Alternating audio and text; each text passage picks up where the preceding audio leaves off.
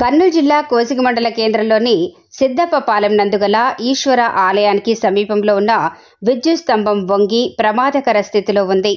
అది ఇనుప స్తంభం కావటం దానికి తోడు కుళాయి కూడా దగ్గరలో ఉండటం పైగా వర్షాకాలం కావటంతో ఏ క్షణంలో ఏం జరుగుతుందోనని కాలనీవాసులు భయాందోళనలో ఉన్నారు.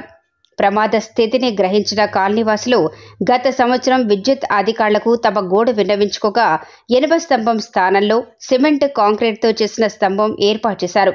కానీ వంగి ఉన్న ఇనుప స్తంభాన్ని అలాగే వదిలివేశారు.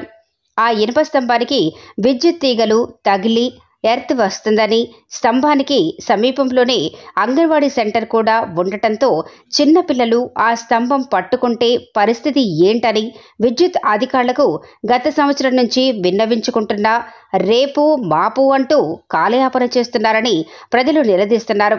ఇప్పటికైనా నిర్లక్ష్యం వదిలి వంగిన ఇనుప స్తంభాన్ని తొలగించి ప్రమాదాలను నివారించాలని కాలనీవాసులు కోరుకుంటున్నారు. అంతా పోయింది కమ్మనేది కొత్త వీళ్ళకి ఏమైనా అంగడికి వస్తే ఇబ్బంది ఏమైనా తగ్గితే కష్టంగా కరెంట్ షాక్ కొడుతుంది కమ్మని కొత్త వేయాలా అంతే మొత్తం వైర్లు వస్తుంది ఇనుపు కమ్మను కొత్త వేయాలా ఇది కరెంట్ షాక్ వస్తుంది ఇక్కడ అంగులు ఉండవి ఇది నిన్న లారీ వచ్చేది నన్ను గుద్దేది నిన్న ఇంత ఉండదు పడుతున్నప్పుడు లేరు ఆ? వైరు పేవి అని వైరు పేవి అన్ని పడుతున్నారు లేరు వైరు మొత్తం పేవి. కమ్మని పండేది.